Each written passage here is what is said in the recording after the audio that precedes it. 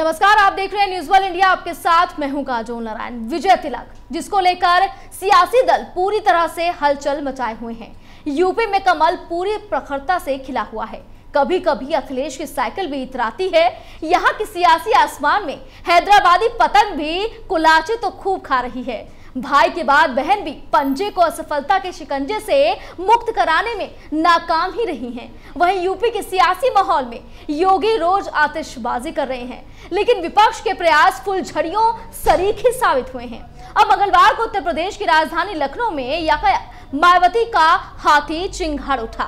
योगी का हिंदुत्व, ओवैसी के मुसलमान और तालिबान की हलचल के बीच मायावती ने अपने हाथी के मस्तक पर ब्राह्मण टीका लगा ही दिया। साथ ही यूपी के चुनावी माहौल में शंखनाद कर सियासी घंटे घड़ियाल बजाकर एक हलचल मचा दी है। एक हफ़्ता होने को आया है, ये सियासी हलचल खत्म होने का नाम नहीं ले रही है। होगी कैसे? 2022 में यूपी का विधानसभा चुनाव जो होना है। रिपोर्ट देखिए। यूपी में सियासी माहौल।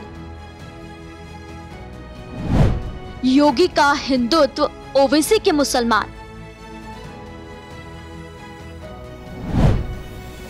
हाथी के मस्तक पर ब्राह्मण टीका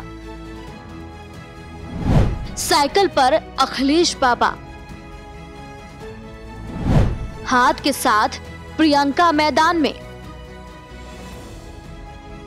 यूपी में इस वक्त सियासी माहौल चरम पर है। वहीं मायावती की चुप्पी तमाम लोगों को अखर रही थी। पहले 2017 के विधानसभा चुनाव और फिर 2019 के लोकसभा चुनाव के बाद यूपी की सियासत में बहुजन समाज पार्टी की माया को खत्म मान लिया गया था। जिस तरह से पूरे समय मायावती मौन साधे रही, उसके बाद राजनीतिक पंडितों ने मायावती की सियासत के खत्म होने की भविष्यवाणी भी कर दी। इधर सपा अध्यक्ष अखिलेश यादव बीच बीच में कभी ट्विटर तो कभी मीडिया में आते रहे, लेकिन मुलायम की समाजवादी पार्टी के संघर्ष वाले चरित्र की कमी से वो पहले बीजेपी के विकल्प के तौर पर अभी तक खड़े नहीं दिख सके। उस पर तुर्रा ये कि सपा के मुस्लिम यादव समीकरण को एआई एमआईएम के असुद्दीन ओवैसी ने काटना शुरू कर दिया। वहीं भाई राहुल के बाद अब बहन प्रियंका गांधी के सियासी टूरिज़्म से कांग्रेस का हाथ यहाँ पर अपनी रही सही शक्ति भी खोता दिख रहा है। इधर कोरोना की दूसरी लहर में लोगों की नाराज़गी से कुम्हलाया, बीजेपी का कमल अब फिर संघ और बीजेपी के दिल्ली में दिए गए खाद पानी के बाद फिर से खिला दिखाई पड़ने लगा है। मुख्यमंत्री योगी आदित्यनाथ ने बीजेपी के हिंदुत्व को अपने तरीके से और ज़्यादा सींचा है। अपराधियों के खिलाफ कार्रवाई और खास तौर से भाषणों से लेकर फैसलों तक में हिंदुत्व के नए पुरोधों के रूप में खुद को साबित करने में योगी कामयाब रहे। चौतरफा योगी आदित्यनाथ के पोस्टर्स विज्ञापन और भाषणों के बीच विपक्ष की आवाज़ हल्की सी साबित होती रही है। वास्तव में बीजेपी के अंदर की राजनीति खींचतान भी विपक्ष के प्रयासों से ज़्यादा बड़ी खबर के रूप में सामने आती रही। वो भी केंद्रीय नेतृत्व और आरएसएस ने बैठकों पर बैठक पर संभाल लिया। हालाँकि राजनीति का कटु सत्य ये भी है कि जब कोई खुद को अपराज्य महसूस करने लगे जब कोई हारता ना दिखे तो उसी समय राजनीतिक घटनाक्रम या कोई ऐसा मुद्दा होता है जो मज़बूत व्यक्तित्व या साम्राज्य के पतन का कारण बनता है। मसलन, योगी आदित्यनाथ को यूपी जैसे प्रदेश की कमान देकर बीजेपी ने जातियों को तोड़कर हिंदुओं के रथ को तोड़ने की कोशिश की थी। मगर पिछले साढ़े चार साल में विपक्ष तो विपक्ष की पार्टी के अंदर भी योगी जातिवाद के आरोपों से बच नहीं सके। विपक्ष लगातार उन पर एक जाति विशेष रानी राजपूत तबके को आगे बढ़ाने का आरोप लगाता रहा। इसके बावजूद सच यही है कि अभी भी उत्तर प्रदेश में योगी की हिंदुत्ववादी छवि खासी प्रखर है। मगर विपक्ष को तो जातिवाद का मसला ही एक मज़बूत दीवार में दरार की तरह दिखा और उस पर लगातार हथौड़े मारे जा रहे हैं। सहयोग से उत्तर प्रदेश सरकार के कुछ घटनाक्रम या फैसले ऐसे हुए जिससे विपक्ष को ये आरोप लगाने में बड़ी मदद मिल गई। सियासत में अजगर की तरह चुपचाप बैठे शिकार का इंतज़ार होता है। फ़िलहाल मायावती ने वही किया। 2007 के दलित ब्राह्मण की पुरानी केमिस्ट्री को उन्होंने ज़मीन पर उतारने का फैसला लिया। बहुजन समाज पार्टी में मायावती ने सतीश चंद्र मिश्र को तब चेहरा बनाया था। नतीजा पक्ष में आया था और बीएसपी की सरकार लगभग अपने बूते सत्ता तक पहुँचने में कामयाब रही। हालाँकि 2017 में मायावती ने सोशल इंजीनियरिंग पार्ट टू आजमाया। इसके तहत दलित मुस्लिम गठजोड़ बनाने की कोशिश की, लेकिन वो सफल नहीं हो सका। मोदी की आंधी में सारे समीकरण उड़ गए। अब मायावती को ब्राह्मणों से ही उम्मीद दिखाई पड़ रही है। खासतौर से पिछड़े वर्ग और ब्राह्मणों का एक तबका योगी सरकार में अपेक्षित महसूस कर रहा है। इस तरह की धारणा क्या यूपी में बदलाव लाती है? ऐसे तमाम सवाल हैं। इसी आधार में चुपचाप बैठी मायावती ने अचानक अयोध्या से ब्राह्मणों को रिझाने की कवायद शुरू की। पहले ब्राह्मण सम्मेलन होना था, फिर उसका नाम प्रबुद्ध सम्मेलन रखा गया। एक एक वोट का हिसाब किताब रख रही बीजेपी पर इसका असर हुआ और इसकी काट भी शुरू करने की कोशिश की गई। खैर, मायावती ने मंगलवार को लखनऊ में जिस तरह से सर्वजन हिताय, सर्वजन सुखाय का नारा बुलंद कर अपने भाषण के केंद्रों में ब्राह्मणों को रखा उससे साफ़ है कि वो इस मुद्दे पर बेहद आक्रामक खेलने जा रही हैं। सूत्रों का कहना है कि मायावती पूरे उत्तर प्रदेश में सबसे ज़्यादा टिकट ब्राह्मणों को देने का मन बना चुकी हैं। इसके अलावा ब्राह्मणों के सम्मान, उनकी सुरक्षा का वादा कर मायावती ने बड़ा दाव चल दिया है। मायावती का दाव अपनी जगह है, लेकिन एक सच्चाई और भी है। मायावती के साथ 2007 में ब्राह्मण जुड़े तो ज़रूर, लेकिन वे लगातार उनके साथ बने नहीं। मसलन 2007 में लगभग मायावती के सैंतीस ब्राह्मण चुनाव जीते थे, जिनमें से करीब नौ को ही बनाया था। खास बात यह है कि इनमें से ज़्यादातर अब बीजेपी का झंडा थाम चुके हैं। इसलिए ब्राह्मण जो कि यूपी की राजनीति में निर्णायक फैक्टर साबित होते हैं, उनके बीच अभी मायावती को खासी मेहनत करनी पड़ सकती है। वैसे बीएसपी की गणित ये भी है कि अगर ब्राह्मण बीएसपी की तरफ़ आया तो मुस्लिम किसी भी हाल में बीजेपी को हराने के लिए उनका साथ आ सकता है। मायावती ने इसे समझते हुए ब्राह्मणों को तो अपनी रणनीति के केंद्र में रखा है, लेकिन मुसलमानों पर भी पासा फेंका है। इसी कड़ी में उन्होंने साफ़ किया कि बड़े बड़े स्मारक और प्रतिमाएँ नहीं बनवाई जाएँगी, केवल विकास का काम होगा। यहाँ समझना ज़रूरी है कि इस्लाम में बुद्ध परस्ती हराम है। ये संदेश परोक्ष रूप से मायावती ने मुस्लिम तबके को भी दिया। राजनीति में कौन सा पासा या कौन सी चाल उल्टी या सीधी पड़ेगी, ये तो जनता के हाथ में है। लेकिन मायावती के हाथे की चिंगार ने यूपी में थोड़ी हलचल तो ज़रूर मचाई है। वैसे तथ्य ये भी है कि यूपी में सपा बसपा गठबंधन के मज़बूत गणित को 2019 में मोदी फैक्टर धाराशाही कर चुका है। बस फ़र्क ये है कि तब लोकसभा चुनाव था और अब योगी का काम और उनका व्यक्तित्व भी कसौटी पर होगा। ऐसे में तमाम सवाल उठ रहे हैं की क्या मायावती का ये फैक्टर सही साबित होगा? Bureau report, news world India. अब आपने पार्टियों की कोशिशों के बारे में जाना, लेकिन सब कुछ जनता के हाथ में है। जनता ही फैसला लेगी। ऐसे में न्यूज़ वॉल इंडिया की टीम भी मैदान में उतरी है और जनता के बीच पहुंचकर उनके मन को टटोल रही है। सबसे पहले लखनऊ का रुख करेंगे, जहाँ मेरी सहयोगी रूबी सिद्दीकी ने जायजा लिया है। जनता के मन में क्या कुछ चल रहा है, वो जानने की कोशिश की है। देखिए। इस टाइम मैं मौजूद हूँ लखनऊ के सिकंदराबाग चौराहे के पास। और हम जानते हैं लखनऊ में गर्मी के साथ साथ चुनावी सरगर्मियाँ कितनी बढ़ चुकी हैं। हमारे साथ कुछ लोग जुड़ गए हैं। इनसे इनकी राय लेते हैं कि यहाँ से ये सरकार से पाँच साल होने वाले हैं योगी सरकार को कि ये यहाँ से खुश है। पाँच सालों में सरकार ने क्या किया? सबसे पहले अपना नाम बता दीजिए। प्रशांत नाम है मेरा। प्रशांत आप ये बताइए यहाँ से लखनऊ में अगर हम खासतौर से पाँच साल की बात कर रहे हैं क्या विकास हुआ है? हाँ विकास हुआ भी है कुछ चीज़ों में नहीं भी हुआ है। जस्ट लाइक गैस सिलेंडर और पेट्रोल और बेसिकली जो मिडिल क्लास लोअर क्लास के लिए जो चीज़ें होती हैं, वो चीज़ें उतनी इफेक्टिवेबल नहीं हैं और कुछ भी इफेक्टिवेबल भी हैं। कुछ मिल भी रही हैं लोगों को बट उतना गवर्नमेंट के थ्रू से निकाली तो जा रही हैं, पर नीचे लोअर क्लास तक पहुँच नहीं रही हैं। अब इसमें गवर्नमेंट को कहा जाए या बीच में जो बैठे हैं उनको कहा जाए, अब ये तो गवर्नमेंट बता सकती है, या वो इंक्वायरी करके। और कहा जाए कि कुछ होता है अगर कोई छोटा बंदा जाता है रिपोर्ट लिखवाता है तो उसकी इतनी सुनवाई नहीं होती है। और उसी जगह बड़ा बंदा जाता है उसकी सुनवाई होती है। तो ऐसा क्यों हो रहा है? यानी कि आप ये मान रहे हैं कि कानून व्यवस्था उतनी अच्छी नहीं जितनी होनी चाहिए ना? कानून व्यवस्था और सिस्टम हमारा उतना सिस्टम हमारा ऐसा बनाया जा चुका है कि आज की डेट में सोर्स चाहिए। अगर कोई पेशेंट है कोविड का टाइम चल रहा है अगर कोई पेशेंट वेंटिलेटर पे है उसके पास ऑक्सीजन नहीं है अब पहले उसको करोना वार्ड में करा जाएगा। और आजकल कोरोना चल रहा है, मैं भी समझ रहा हूँ पेंडेमिक है। अब उसको अगर कोरोना वार्ड में करेंगे, तीन दिन के रिमांड में रखेंगे तो ऑब्वियस ही बात है पेशेंट को तो पेशेंट तो डेथ हो जाएगी ना उसकी। अब किसी भी हॉस्पिटल में जा रहा है रेफरेंस लग रहा है। अब ये क्या हो रहा है? अब जब यही चेंज नहीं हो पा रहा है मेन तो अगर सेंट्रल गवर्नमेंट में मोदी जी हैं तो उनका एजेंडा ये है ना, अब सब कुछ तो कॉपी किया जा रहा है फॉरन फॉरनर का। तो उनसे ये भी चीज़ें तो फॉरन वो करें ना। पहले पहले बिल बना दिए जाते हैं ये रिपोर्ट कराओ वो रिपोर्ट कराओ। तो ऐसे भाई अगर लो मिडिल क्लास भी होगा और अपर क्लास होगा वो अफोर्ड कर जाएगा। लोअर क्लास बंदा कहाँ अफोर्ड कर पाएगा? उसके लिए कोई हॉस्पिटल कुछ नहीं बनाया गया। और प्लस इनको उन्होंने पेट्रोल के दाम इतने बढ़ा दिए रेट बढ़ा दिए हैं। उज्ज्वला इन उज्ज्वला जो इन्होंने बांटा गैस कनेक्शन बांटा था तो क्या सोच के बांटा था? उस समय तो फ्री में दे दिए। अब नौ सौ रुपये चला दिया इन्होंने। सेंट्रल गवर्नमेंट 600 के समथिंग ऐसे मुझे रेट नहीं पता है मैं इतना नहीं जानता मगर 600 के समथिंग दे रही है। स्टेट में आके वो 300 का वेट लगा के 900 आ गया और 30 40 रुपए सब्सिडी आ रही है तो मतलब ही क्या है ये? ये तो बिज़नेस हुआ ना। आप आप बताइए कि आपको क्या लगता है कि जब सरकार बनती है यानी कि चुनावी तैयारियाँ जब होती हैं अभी जो है वो ब्राह्मण को साधने की तैयारियाँ हो रही हैं चाहे सपा हो बसपा हो अब आपकी राय इसमें क्या होगी? इसमें हमारी सिर्फ़ एक ये राय होगी ना कि अगर कोई भी ब्राह्मण को देखना है क्या इतना ज़्यादा के बारे में हम डिस्कस नहीं करते तो बट अगर गवर्नमेंट के हिसाब से अगर जितना हिसाब से चलना चाहिए तो मामला एवरेज ही चल रहा है। बस ये है कि इस पाँच मतलब इनको इनको ऐसे चेहरे तलाशने चाहिए खासतौर से अगर ब्राह्मण हैं इन सबको ऐसे? ऑब्वियसली अगर उनका अगर इस ये ही मेन एजेंडा चल रहा है इनका तो इसी हिसाब से देखने के चलना चाहिए। अब बाकी उसमें क्या किस तरह से रहेगा? वो गवर्नमेंट अपना अपने हक से ज़्यादा से जानते हैं। हम लोग तो सीधे एक एम्प्लॉय टाइप के इंसान हैं वो तो अपना हम लोग को जितना वेजेस मिलता है उतने से सब अकॉर्डिंग काम करेंगे। बट गवर्नमेंट में क्या क्या चल रहा है तो सरकार में भी मेरे ख्याल से मेरे चेंज होनी चाहिए। अच्छा जब चुनाव करीब आते हैं तो जितने भी दल होते हैं वो सब अपनी तैयारियों में जुट जाती हैं।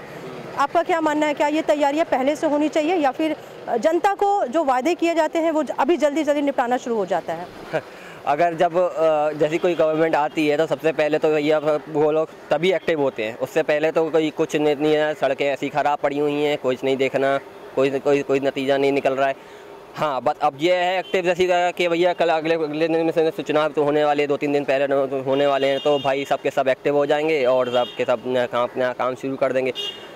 मेन एजेंडा ये होना चाहिए लोगों का कि अगर जब सरकार आ रही है तो सरकार आने के एक दो महीने पहले जब हर एक लोकेशन पे अपना एक, आके एक कैंप लगाएँ, उसका कि हाँ हम ये अवेयरनेस कर रहे हैं, हम कोविड का वो चीज़ खोल रहे हैं, आज के टाइम में तीसरी लहर आने वाली है तो तीसरी लहर की तैयारी के लिए कि क्या क्या क्या उनको काम क्या होने चाहिए, वो सब वो सब पहले घर घर जाके उनको वो प्रोवाइड करना चाहिए।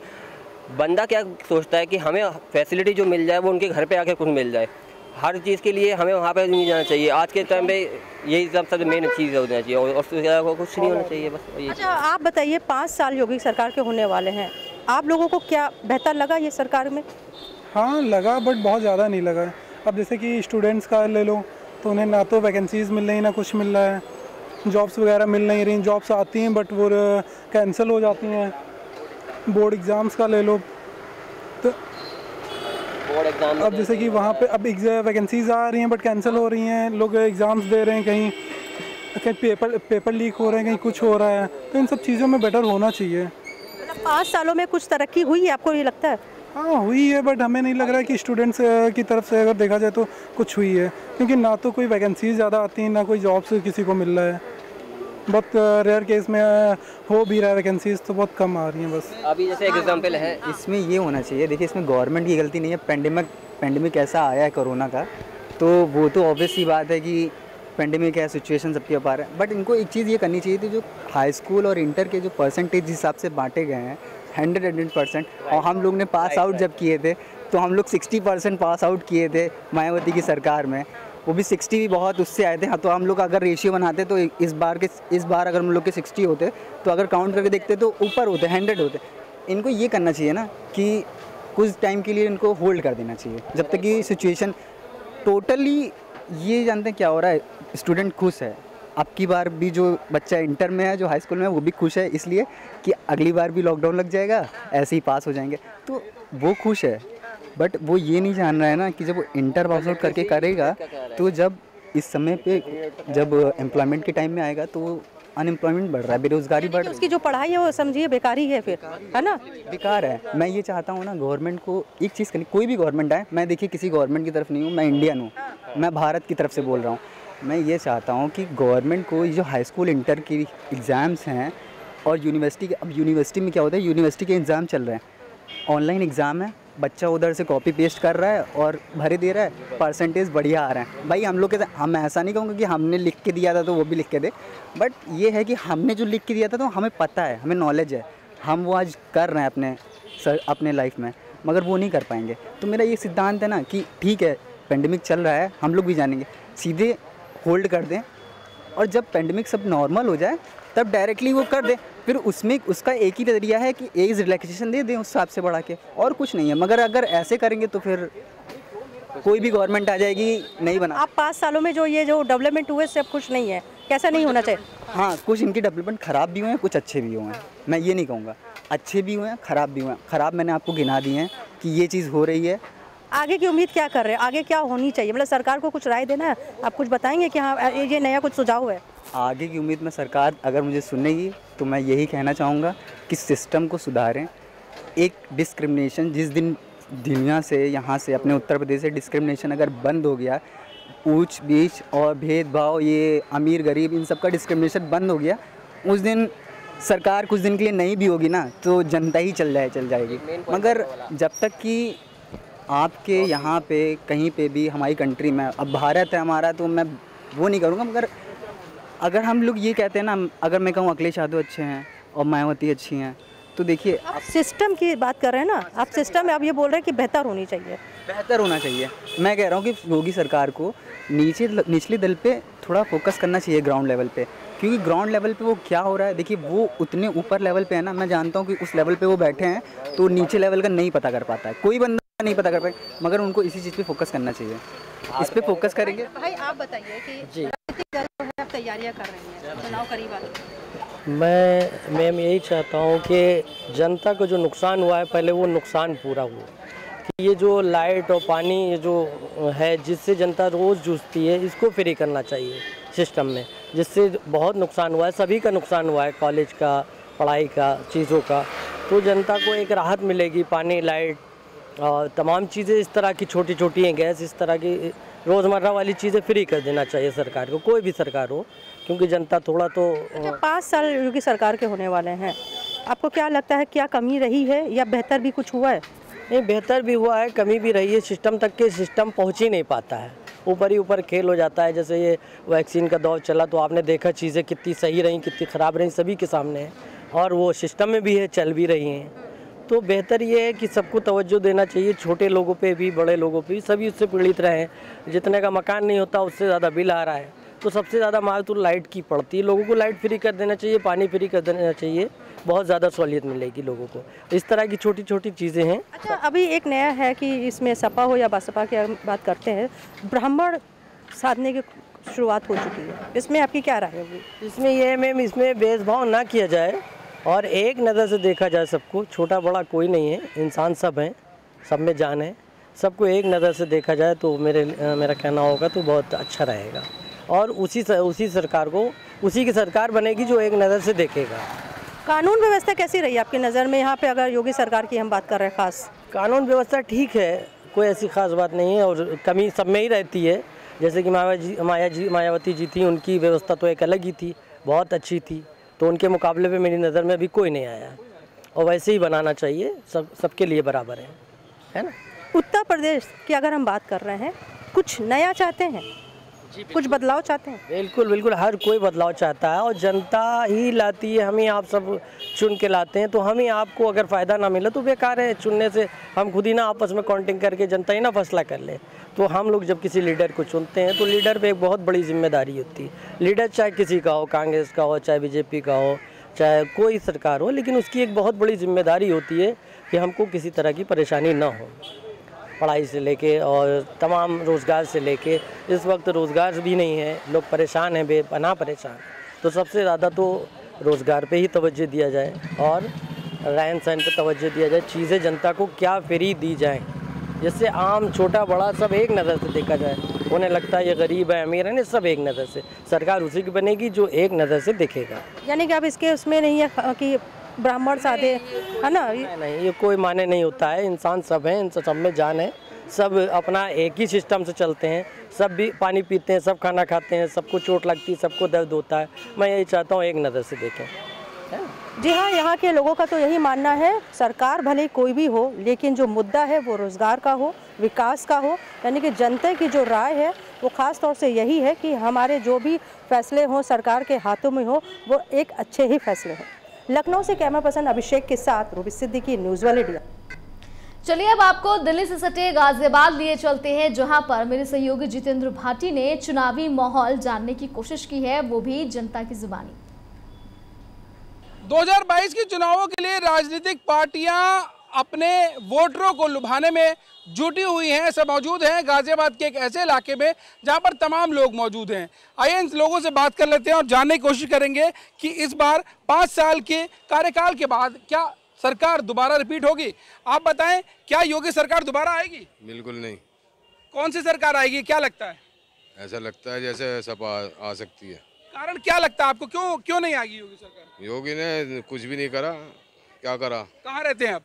मैं तो ये मेरठ रहता हूँ वैसे तो। मेरठ रहते तो विकास हुआ नहीं है क्या मेरा विकास नहीं हो रहा। तो कुल मिलाकर मिली जुली प्रतिक्रिया लगातार लोगों की आती है ऐसे में कुछ लोग और इनसे बात कर लेते हैं। आप बताएँ चुनावों के क्या हाल है? क्योंकि जिस तरीके से 2022 में राजनीतिक पार्टियाँ सक्रिय हो गई हैं क्या लगता है? सरकार रिपीट होगी? वो पता नहीं ये तो जनता ही जाना है ये जनता। आप भी तो जनता ही है। हम तो है पता नहीं किसकी सरकार आ जा। आप किसको वोट देंगे? वोट तो सही दिया जाएगा जो काम का मुद्दा करेगा। आपके इलाके में क्या काम नहीं हुआ है? काम तो हो रहा है पर सही हो रहा है बस यही है बस तो- काम हो रहा है और अभी हाल की सरकार योगी सरकार है काम हो रहा है तो फिर लगता है योगी सरकार आएगी? बस देखो जी आ भी सको नहीं भी भाई। तो ये मिली जुली प्रतिक्रिया है लोगों की इनसे बात कर लेते हैं आप बताएँ योगी सरकार रिपीट होगी? हाँ होगी रिपीट होगी। किस यो, तरीके से कह सकते हैं आप? यो, यो, योगी ने सरकार को समझ लो क्या नहीं किया है उन्होंने। उन्होंने बहुत कुछ किया है समझ लो।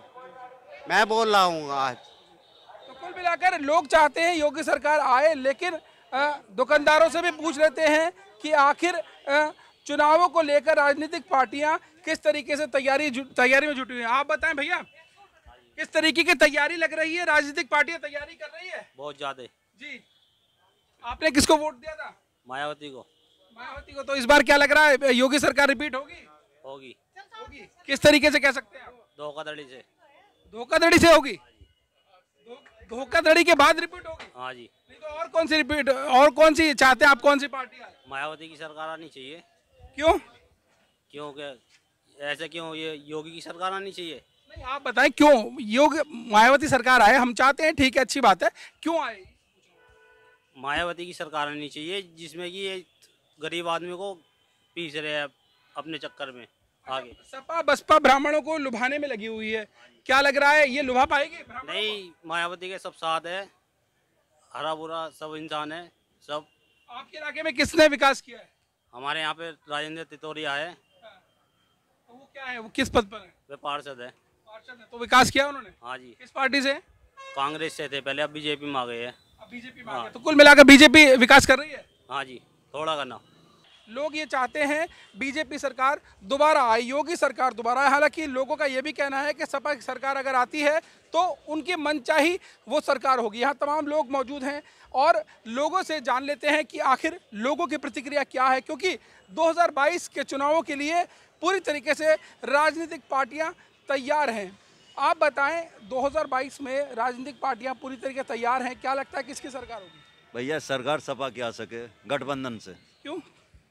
भाई यहाँ देखो कितनी भीड़ है जनता के लिए कोई गाड़ी नहीं लग रही सारी गाड़ी तो वहाँ मंगा ली इन्होंने अलीगढ़ में। ये दर दर की ठोकरें खा रहे हैं यात्री इसीलिए मैं तो चाहता नहीं कि बीजेपी की सरकार बने। बस सपा सीधी बात यही है मेरी तो। तो कहीं ना कहीं लोगों में नाराज़गी भी है। अब इनका कहना है कि यहाँ पर जो तमाम लोग हैं वो यहाँ पर काफ़ी समय से इंतज़ार कर रहे हैं, लेकिन गाड़ियाँ नहीं आ रही हैं। ऐसे में परेशानी तो है, परेशानी है साहब, और इस परेशानी का सबब जो आम जन को देखना पड़ रहा है, वो बेहद दुखद है। आप बताएँ सर, क्या लगता है 2022 में किसकी सरकार आएगी? पाँच साल में काम हुआ है नहीं हुआ है? वो तो आपको दिखाई दे रहा है, जो आप बोल रहे हैं, ये देखो। मुझे तो लगता ना, बीजेपी की सरकार आए बस। आपके इलाके में काम नहीं हुआ है? नहीं हमारे पे तो कुछ भी नहीं हो रहा। देख लो आप देख लो बस देख लो। एक घंटा हो गया मेरे को। क्या हुआ दो सौ रुपये पेट्रोल हो गया चलान स्कूटी का मोटरसाइकिल दो दो हज़ार का चलान कट रहा है। को, कौन सरकार के राज में इतना इतना का चलान कट रहा है? ये बता दें हमें। दो दो हज़ार का चलान अगर कटेगा स्कूटी या मोटरसाइकिल के तो गरीब आदमी कहाँ से क्या कर लेगा? सिलेंडर सिलेंडर की तो कोविड की तो दवाई फ्री दी है वैक्सीनेशन वो तो कोई भी सरकार रहेगा तो देगा। कोई भी देगा। सिलेंडर मोदी योगी अपने घर से नहीं दे रहा। गवर्नमेंट सरकार की है ये जो वैक्सीन लग रही है। यही कहना है। यहाँ पर बसपा की आनी चाहिए मायावती की प्रदेश के अंदर। जैसे कि पहले था अधिकारी बिल्कुल हिलता नहीं था मायावती का नाम सुनते के साथ। क्या क्या बदलाव चाहते हैं आप? बसपा सरकार में दुनिया भर की भर्तियाँ निकली थी लोग बाग रोज़गार पे लगे थे। भाजपा सरकार में ऐसा कुछ नहीं हुआ। तो लोगों को दर्द है बीजेपी सरकार में ऐसा कुछ नहीं हुआ है ऐसा लोगों का कहना है। बसपा सरकार आए कुछ लोग चाहते हैं कुछ लोग चाहते हैं सपा सरकार आए। अ, महिला भी हैं यहाँ पे इनसे बात कर लेते हैं। आप बताएँ यहाँ पर अ, महिला सुरक्षा को लेकर जो दावे किए गए हैं क्या लगता है वो पूरे किए गए नहीं पूरे नहीं किया गया कोई। तीन तलाक के लिए भी पूरी तरीके से सरकार ने नए नियम बनाए थे। क्या लगता है आप? खुश नहीं कुछ नहीं है। तो ये मिलीजुली प्रतिक्रिया है। ज़ाहिर तौर पर 2022 में चुनाव आएँगे और अब इस बार लोगों को बदलाव पसंद आ रहा है। और अब देखने वाली बात यह होगी 2022 में किसकी सरकार उत्तर प्रदेश में बनने जाएगी। गाजियाबाद से Jitendra Bhati, news world India. इस खास रिपोर्ट में आज के लिए बस इतना ही। तमाम बड़ी खबरों के लिए आप बने रहिए न्यूज़ वर्ल्ड इंडिया के साथ।